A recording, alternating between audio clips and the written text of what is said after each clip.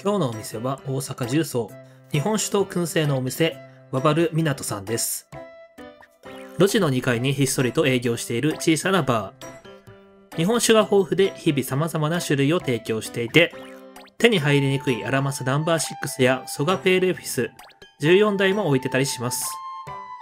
手頃にワンコインで飲めるサービスタイムや日本酒の飲み放題などもありたくさんの種類を楽しむことができます。そしてお酒のあてとして数多くの燻製料理があり、チーズやスパム、梅干しや明太子、少しお得な盛り合わせもいくつかございます。落ち着いた空間で香ばしく香り良い燻製と日本酒をちびちびとゆったりいただいてください。ぜひどうぞ、エビでした。